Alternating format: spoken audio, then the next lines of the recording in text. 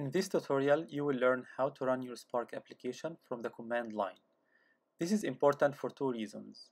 First, this is the primary method of running a Spark application in production on a real distributed cluster. Second, this is how we will grade your programming assignments in this course. We will run them from command line. As a prerequisite, you need to have a project either in Java or Scala that you can run from IntelliJ. This is further explained in two previous tutorials. In this walkthrough video, we will be working with a Scala project but doesn't really make any difference. The first step is to package your project in a jar file. To do that, from the command line and, end at your project directory, type mvn package.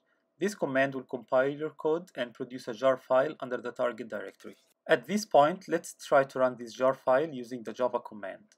It will fail because your program depends on Spark and Scala libraries that are not part of your jar file.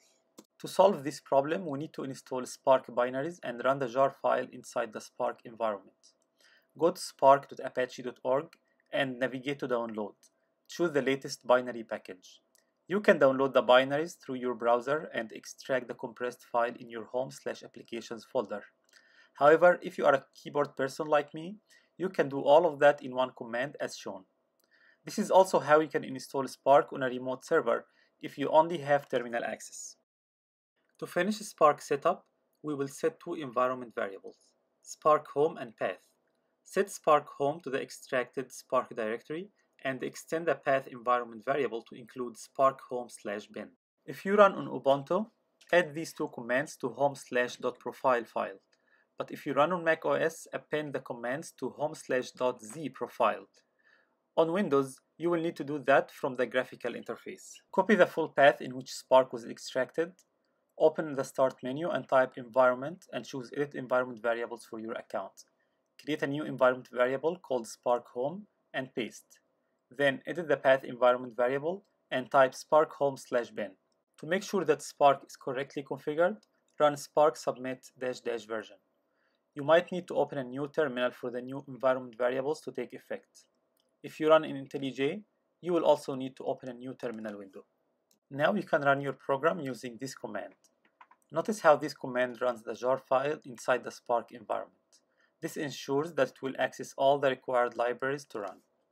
The class option allows you to choose the main class that you want to run. If your application contains only one main class, you can set it to run by default so that you do not have to type the class name every time you run your application. To do that, edit your POM file and add this section. What this part does is that it configures the jar plugin to add a manifest file inside your jar file that specifies the main class. After you edit the POM file, create a new jar file by running the same command mvn package again. Now you can run your program using the same command but without specifying the main class. You can still specify the main class in the Spark command. For example, you can have a default main class and other non-default main classes that you can run. Now let's go over some problems that you might have with Windows. When you run your program from the command line, you might get an error message saying Hadoop home and hadoop.home.dir are unset. To resolve this problem, visit the link provided in this tutorial. Choose the right version of Hadoop, in our case it is version 3. Choose winutils.exe and download the file. Place the downloaded file under home slash applications slash hadoop slash bin.